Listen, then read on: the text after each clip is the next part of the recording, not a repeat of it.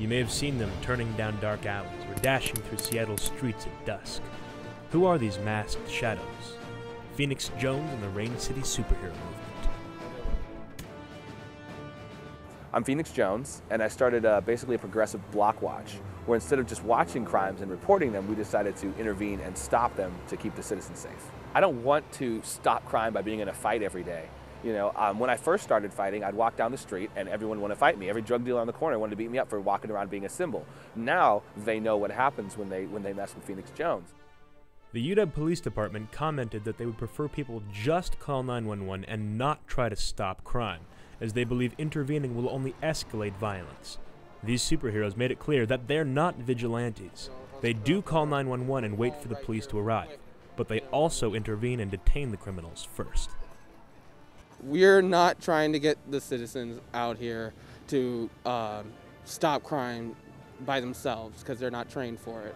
You know, um, what we're trying to do is help people not stand around and do bad things. We're trying to get them to call and report crime in, in, instead of stand there and do nothing.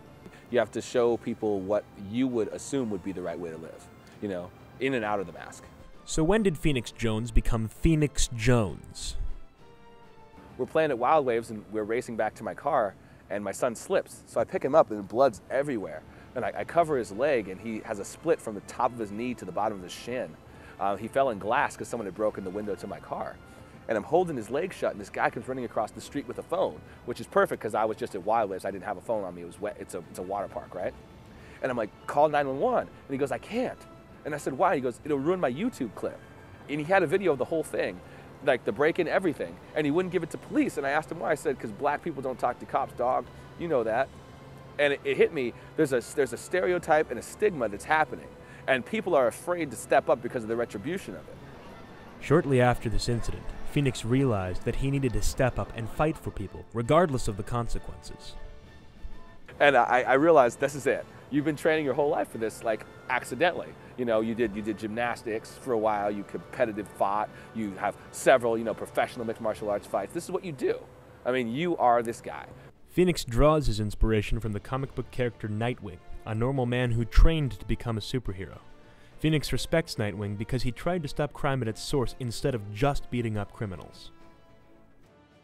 He was a good person all around who had the skills to fight crime. And to me, that's the only real superhero. I'm never going to find a guy who fell from the sky who has, can fly or that can, you know, jump buildings in a single bound. But I can do backflips off buildings and I can do parkour and I'm in great shape and I can lift, you know, I can leg press a thousand pounds. And I think that's as close as you're going to find. So, what purpose does Phoenix believe he serves that official law enforcement cannot? At a time when it's harder to trust the, trust the governments and trust the police and trust things because of you know circumstances that have happened, you need someone who, in a, in a weird way, is like you. I mean, I'm just like every other 22 year old. I'm not, you know, I'm not crazy. I have a job, nine to five. I have a, I have a kid. I, I, have, I own my car. I make payments. You know, I'm just like everyone else. The only difference is I stand up for people, and that empowers everyone to be a superhero.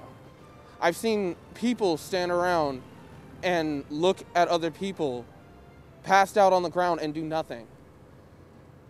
I, I, I've seen people just walk by.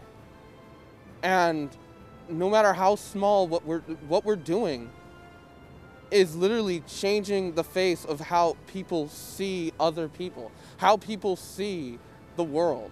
There's a, there's a time when you have to say, am I going to stand for something or am I going to stand for nothing? And whether we're in a funny mask or we're walking down the street or we're in a dark alley, this is a group of 11 people who got together and with the best of their knowledge said, criminals, we're coming. And when you see my golden black suit walk down the street, you better know why we're here. Our biggest possible evilest enemy is apathy. I'm tired of people looking at other people and doing nothing. And my entire crew's not going to stand for it. If you see me on the streets, you can give me a high five and I'll appreciate that. Or when you see a crime, you can call 911 and do what we're all supposed to do. There's a hero inside each and every one of us, and it's time we do something.